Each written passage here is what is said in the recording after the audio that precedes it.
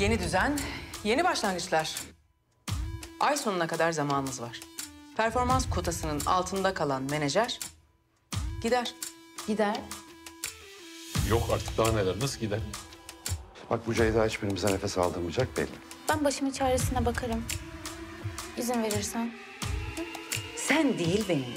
Çantamı bile taşıyamazsın.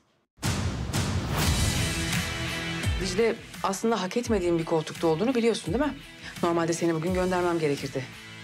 Ama arada kıraç var tabii. Oo böyle geliyorsun ha. Babalı kızlı. Ama benim bir huyum var. Ben pişman edeyim. Etsene. Bana bir sarılır mısın lütfen? Gerçekten şu an çok ihtiyacım var.